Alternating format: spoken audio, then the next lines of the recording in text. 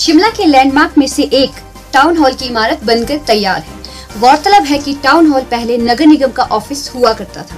जीर्णोद्धार के बाद अभी टाउन हॉल पर असमंजस बरकरार है।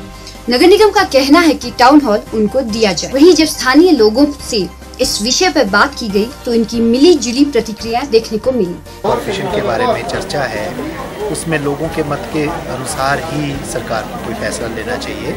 कि ये property tourism point of view से डेवलप करके और अच्छे ढंग से इसका यूज़ हो सके।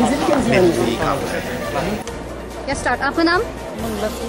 ओके मैम जैसे आप जानते हो कि ये टाउन हॉल है ये पहले एमसी के पास होता था। पर अभी थोड़ा सस्पेंस बनाओ कि ये एमसी के पास रहेगा या नहीं। इस पे आपका क्या कहना है? ये एमसी के पास नहीं होना चाहिए क्योंकि ये मेंटेन नहीं हो पाएगा।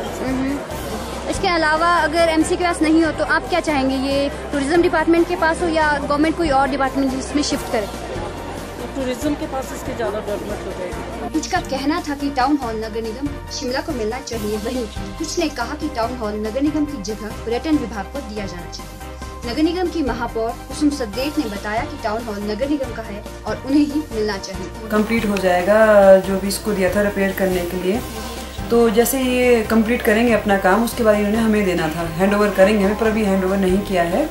तो हमें यहाँ पर बहुत सारी दिक्कतें आती हैं जैसे हमें मीटिंग करनी होती है तो हमें जो है डीसी डीसी साहब से जो है बचत भवन लेना पड़ता है। उसमें कई बार हमें नहीं मिल पाता है कई बार उनकी अपनी मीटिंग्स होती है क्योंकि यहाँ पे बहुत सारी मीटिंग्स होती है इसलिए हमें कई बार नहीं मिल पाता है। तो हमें जो है यूडी जाना पड़ता है टॉलेंट के पास। तो हमें बहुत सारी दिक्कतें होती है और हमारे जो ऑफ़िस वो भी बहुत छोटे छोटे अगर हम चाहें कभी कोई मीटिंग करना चाहें सभी को लेके तो मुश्किल हो जाता है। इसलिए हमारा, हम तो यही चाहते हैं कि हमें जल्द से जल्द मिल जाए और है भी हमारा ये लैंड हमारी है और कंस्ट्रक्ट भी एमसी नगर परिषद के द्वारा किया गया था उस टाइम लेकिन अब नगर निगम है तो नगर निगम का ही है और नगर निगम को ही मिलना चाहिए। पूजा शर्मा, आदर्श हिमाचल